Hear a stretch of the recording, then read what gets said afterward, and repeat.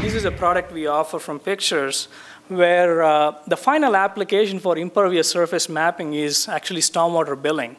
For each parcel, the tax assessor wants to know how many square feet of impervious surface is there. So this is a project we have done actually four or five years ago, where not only we were doing image analysis, but we also bought the parcel data, and we output the entire project within eCognition.